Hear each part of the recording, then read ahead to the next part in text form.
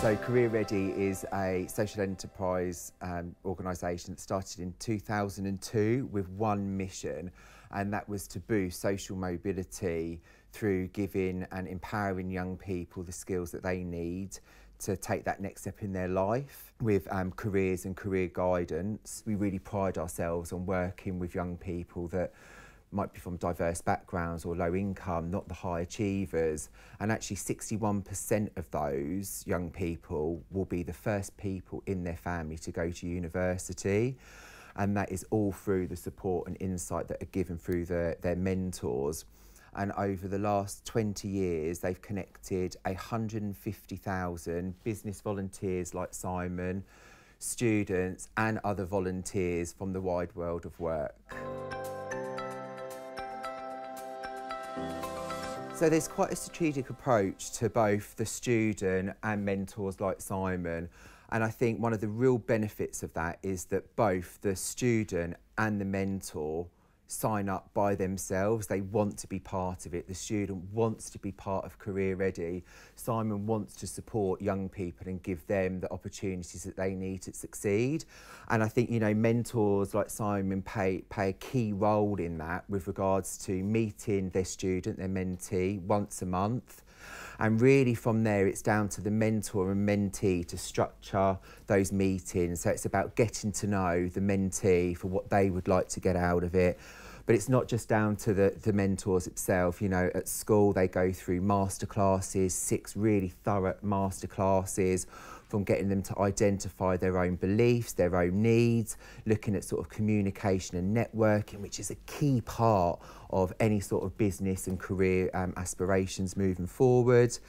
They also have a really good masterclass around sort of interviews and techniques because we want all of the young people that we work with to feel confident in their interviews. It's such an important part of getting that job and we sort of round it off with a really good reflection session, which I actually saw Simon deliver online, which was one of the best sessions um, I've seen, not just because he's sitting here, is around I've brand. Got fiver in my pocket. It's fine. it's around about brand new, so it's getting that young person, that student, to really identify what they would like to be known as to the world of work, because we really support the young people getting that four weeks of work experience, whether it's paid internships or work experience.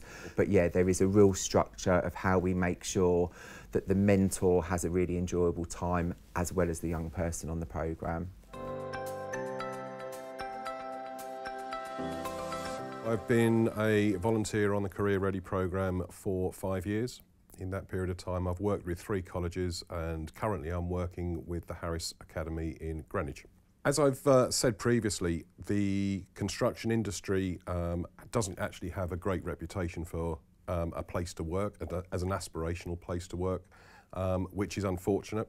I think there are great opportunities for all walks of life to join the industry um, and the ability to pursue a career in any form within this industry, um, it, it, it's there. there. There are opportunities.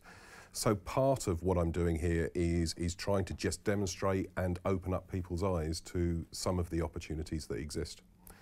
Additionally, in the wider area of manufacturing, doesn't just have to be in construction. In the wider area of manufacturing, there are great opportunities for people um, across the whole spectrum of possible careers. Secondly, working in this program, um, it's a way of showing young people before they've really had the experience of, of, of, what is outside of the academic world.